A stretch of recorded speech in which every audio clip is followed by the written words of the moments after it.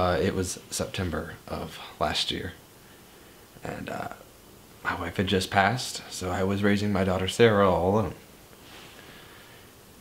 And I read the papers just like everyone else, but I I didn't believe it. You know, not until I saw it. My uh, my neighbors at the time, the Coopers, there were there were screams coming from their home. You know, there's nothing quite as disturbing as that first time you see it.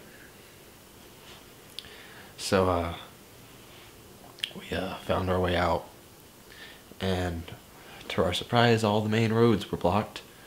So we had to find our own way out. And then a car plowed into the side of the Jeep in the mess.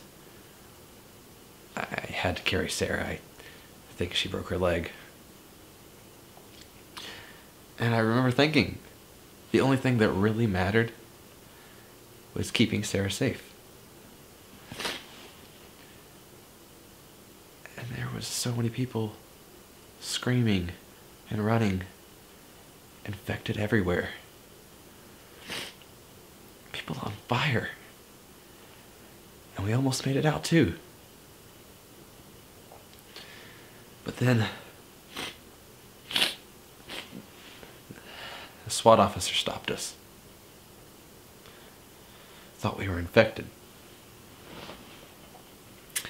I don't know what kind of guy he was but he raised his gun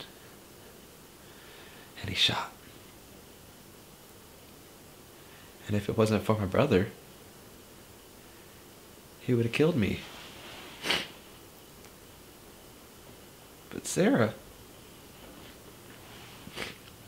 there was so much blood. It was everywhere. And I can still I can still hear her screaming. And just silence.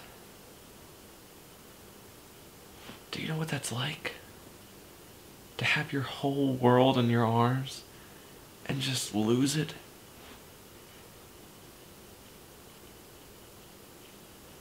I just miss her so much.